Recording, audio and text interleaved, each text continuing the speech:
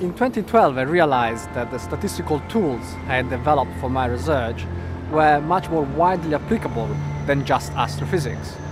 And so with the help of Imperial Consultants, the consultancy arm of Imperial College London, I started to apply them to real-world problems in a variety of sectors. Energy, law, construction, transportation, they all had data-driven complex problems that astrostatistics could help solve. Then, with EPSRC and STFC backing, I was able to expand my activities to the financial sector. Here, credit card transaction data mean that every second 2000 credit card transactions are happening worldwide and the challenge is to be able to tell apart which ones are genuine from the few that might be fraudulent so that your card can be blocked in a timely manner. And that's a problem that astrostatistics can definitely help solve.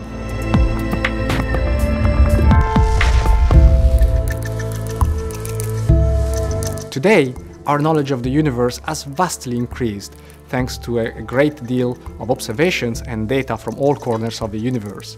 But we need to have the tools to interpret, understand and decipher those new observations of the cosmos. The amount of data available to astronomers today is huge.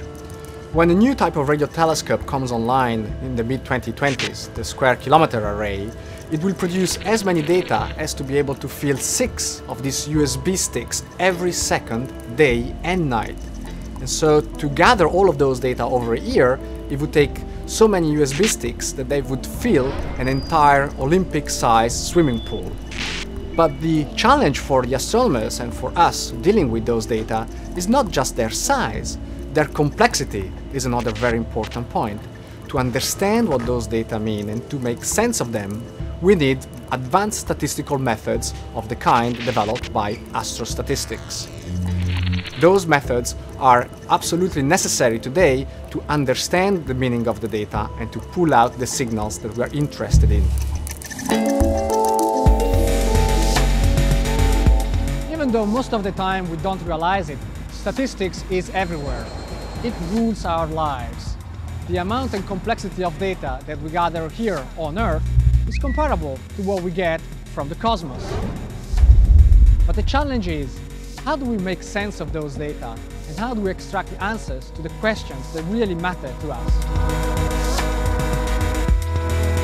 There are plenty more problems out there that can only be solved by using advanced statistical methods of the kind that I've developed in my research in astrophysics. This is why I funded a spin-out company, Data Fusion Consultants, whose aim is to take those tools and algorithms and apply them to real-world problems to make a difference. The data that we have here down on Earth, coming from, for example, uh, public uh, behavior, are much more complicated than what we see in the sky.